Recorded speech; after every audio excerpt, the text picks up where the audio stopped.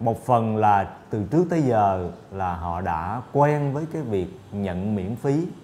À, và bây giờ họ phải chi trả tiền để ờ, được điều trị thì cũng là một cái thói quen ờ, cần phải thay đổi. Là cũng và khi mà thay đổi thói quen này cũng là khó khăn với họ. À, cái thứ hai như mình nói là họ không có điều kiện à, về kinh tế để có thể mua thẻ bảo hiểm. Cái thứ ba nữa là uh, khi mà bảo hiểm y tế là sẽ triển khai xuống các trạm y tế uh, thì bệnh nhân người ta cũng sẽ ngại đến các trạm y tế.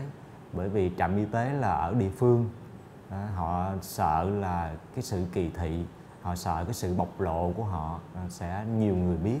Hiện giờ là cái Ờ, gói bảo hiểm y tế của Việt Nam mình thì là uh, đang cân nhắc là sẽ cho điều trị thuốc ARV để cho những người đang sống chung HIV.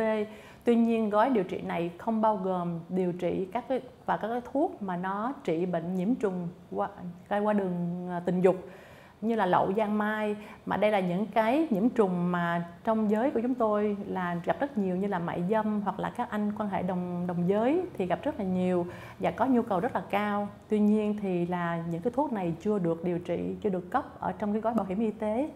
Đã thấy là một cái bước lui và thay đổi cái, cái vấn vấn đề mô hình mô thức chăm chăm sóc của nhà nước và ngành y tế ảnh hưởng hay không là do cái cách mình làm mình thuyết phục mình trình bày và tập cho những người bệnh theo cái phương thức mà mà cho hữu hiệu.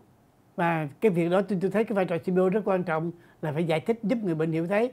Chứ mình mình là mình là nạn nhân đồng thời mình là người chủ động để để để mắc bệnh.